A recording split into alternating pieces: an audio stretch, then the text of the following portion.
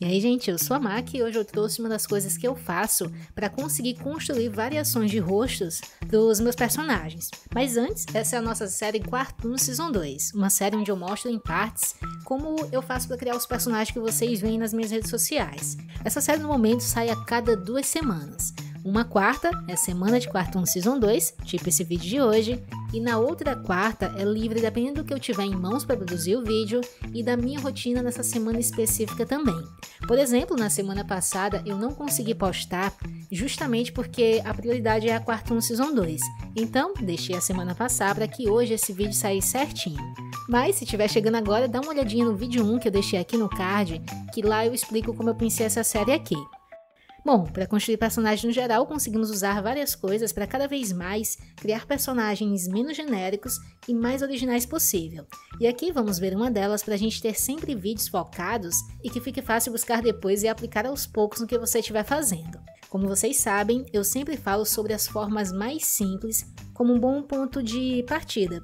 Isso porque, com essas formas e suas variações, conseguimos construir qualquer coisa. Então, mesmo que o vídeo esteja focado em rosto hoje, você pode usar a mesma ideia, por exemplo, para desenhar o corpo também. O mais básico disso seria pegar formas como círculos, triângulos e quadrados perfeitos e criar personagens a partir dessas formas. Dá para criar diferentes personagens adicionando cabelos, olhos, nariz e outros elementos para conseguir resultados distintos. Porém, dá para a gente puxar um pouquinho mais disso.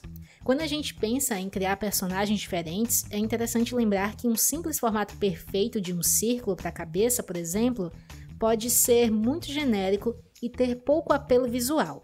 E aí entramos com outros assuntos para buscar mais variação do que desenhar um simples círculo.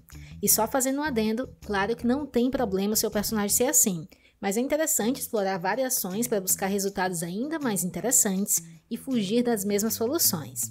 Uma das formas de buscar variação, além de pensar somente em círculos, triângulos e quadrados, é distorcer esses formatos como que eles fossem uma massinha de modelar. Aí fiz como exemplo uma massinha de modelar bem circular e eu posso modificar ela esticando ou achatando para criar variações a partir disso. Só de fazer isso, a gente já tem bem mais variação do que simplesmente pensar em um formato perfeito de círculo, quadrado ou algo do tipo. Também podemos combinar formas básicas para criar novos formatos misturar um círculo com um triângulo, um círculo com um quadrado, um quadrado com um triângulo e por aí vai. E nessa mistura, mudar o formato de um quadrado para um retângulo distorcido ou um triângulo diferente também ajuda a fugir dessa mesma solução de combinações. Tudo isso são formas que a gente pode pensar para deixar de ter sempre as mesmas ideias.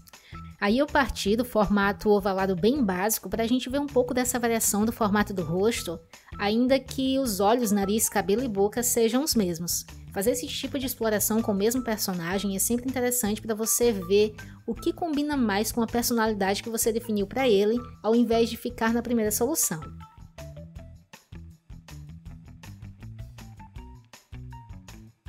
Aqui também vale deformar esses formatos mais básicos em pontos e com intensidade diferente também. Por exemplo, no primeiro eu estiquei a minha massinha e a parte do topo e da base tem a mesma largura. No segundo eu apertei na base e no topo eu deixei com mais massa. E para o último eu inverti. O topo é mais estreito e a base tem mais volume. Mais um ponto aí para você mexer ainda mais nesses formatos. E nisso você pode transformar sua massinha de modelar em qualquer coisa, buscando os formatos mais diferentes que você conseguir. Pode ter partes mais arredondadas, outras mais retas e por aí vai. Para finalizar, eu combinei um quadrado com um elipse pensando na mesma ideia desse personagem, e você vê aí que não é preciso também se prender ao formato perfeito que você fez como base, porque realmente é só uma base. Você pode ir adicionando, retirando ou ajustando algumas partes para você se aproximar mais do resultado que você quer. E claro, você pode combinar duas formas, três ou mais para criar formatos ainda mais diferentes.